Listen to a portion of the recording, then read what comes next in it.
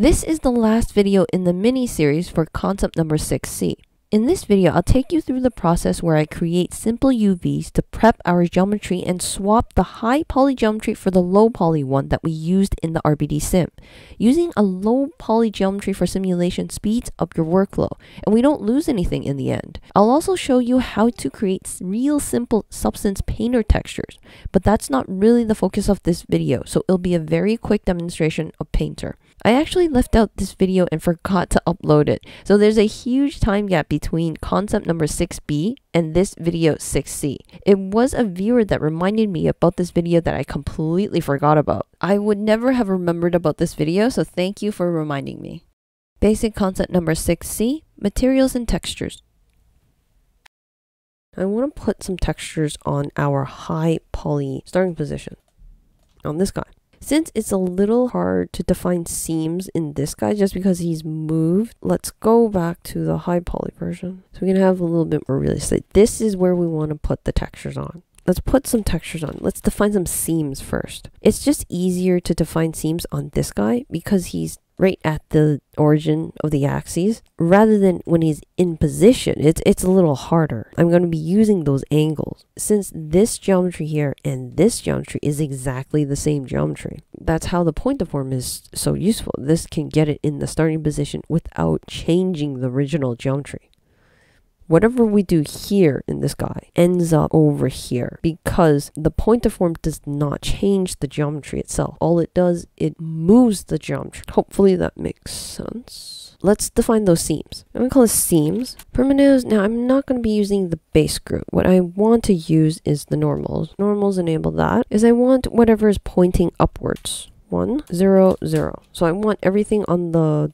top side. I'm going to take this uh, group node and I'm going to copy it because I want everything on the bottom side as well. So I'm going to put it down here. And what we're going to do is instead of replacing existing, I'm going to union with existing. So I want to add onto the group. But this time, instead of getting the upper side, the upside, I want downside. So we're going to take this and we're just going to make it negative one. So we have the seams on the top and the bottom.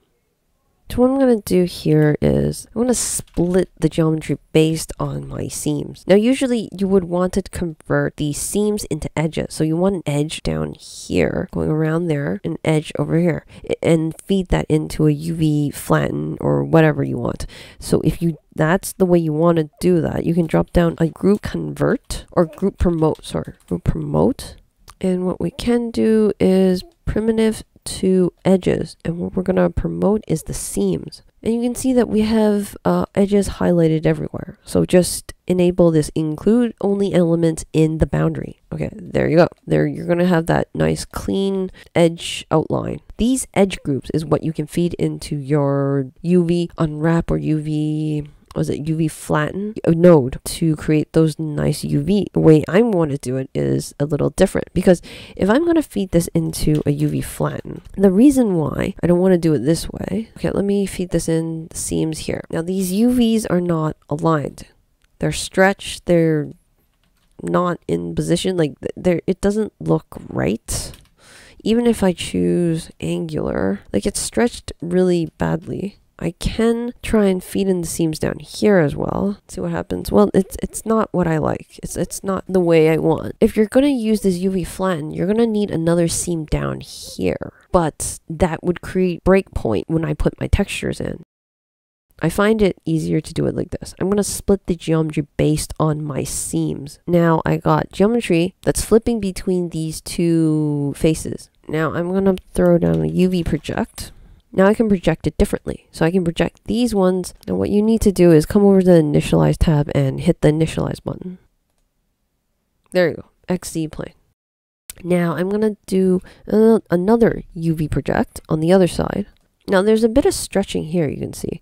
So we're going to fix this by choosing a different UV projection. Instead of an orthographic projection, I'm going to be choosing a cylinder and I'm going to hit the initialize. You can see that this is nicely tileable. Move the mouse over to the 3D viewport and press 5 on your keypad. It'll allow you to see your UVs. You can see that the UVs here go all the way to the end of the UV square. So that means this is tileable. It'll look like there's no seams. When you throw on the texture, it'll go like infinite loops. It'll go round and round and round just perfectly. As long as you have a tileable texture filling up the entire UV square. So that's just like a, an image. So that's why I prefer to do it this way. Now the only issue now is that we have our geometry split up. We have this UV projection uh, cut off from the bottom, just merge it together. Now merging it together does not make it a watertight geometry. It just simply merges it together.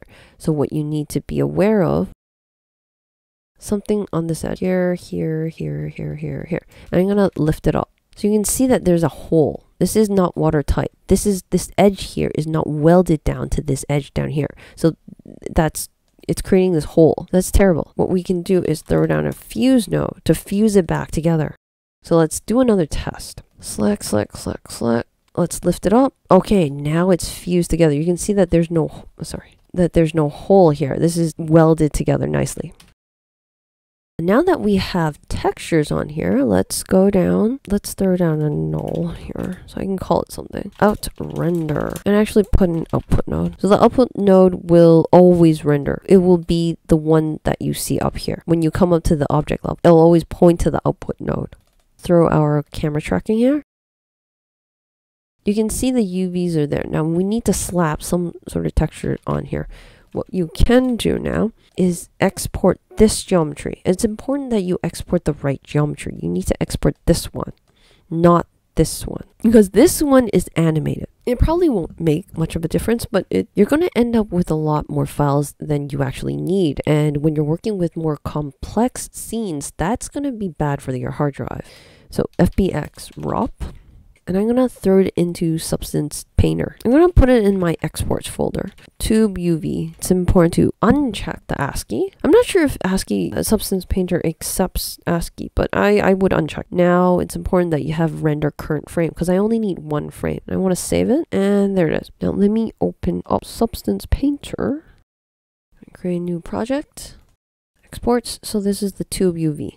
I'm going to keep everything unchecked. This is a very simple geometry and it does not have UDIMs. I don't really have to care about this in the UDIMs. Basically, when you do not check this, it's using the legacy workflow. And since this is a super uh, simple geometry, I don't really care about anything else. I just want to click and drag the uh, texture on. So let's try this out. Now, okay, let's throw down I think the one that I used was, was the one I used. So I'm going to click and drag it on.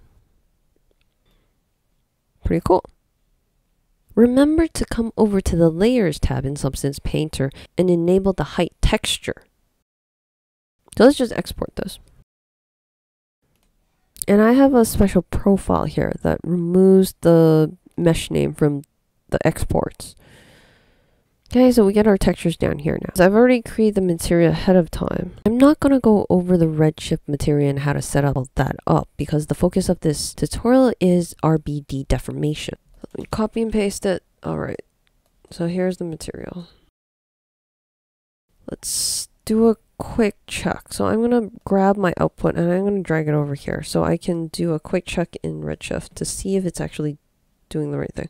I'm going to create a new camera and camera 2 where I can move freely. So camera 1 will be the camera tracking. So let's go camera tracker. Camera 2 is the free camera. So let's open up and I need a light. Go over here. Let's uh, texture. I'm just going to choose an HDR.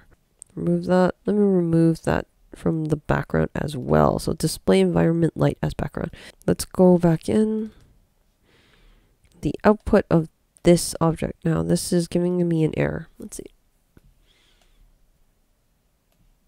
Oh, it's not finding the material. That's because I have to relink it. Click this here. Let's go in.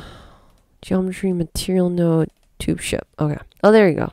So let me turn up the light. It looks a little weak. Uh, two. Okay, that's a bit better. Now let's see how it looks when it's deformed. Uh, we need to switch cameras for this. So let's switch it to the camera tracker and here in the camera tracker here. And we also have to put this output back to the right one because we want to see the actual deformation. So let me turn off the redshift first. Uh, put the render flag here. Oh, here it goes. Okay, so it's starting to crash. This is a good one. Let's see how this looks like. Okay, so this is what it looks like. It's not too bad. You can see it deform. But as I said, because of this, the polygon, our topology here, it's really affecting how it deforms. If you want better deformations, you're going to need more polygons in this high poly here. Using the subdivide is a very simple way of getting higher polygons. Thanks for watching and sticking to the end.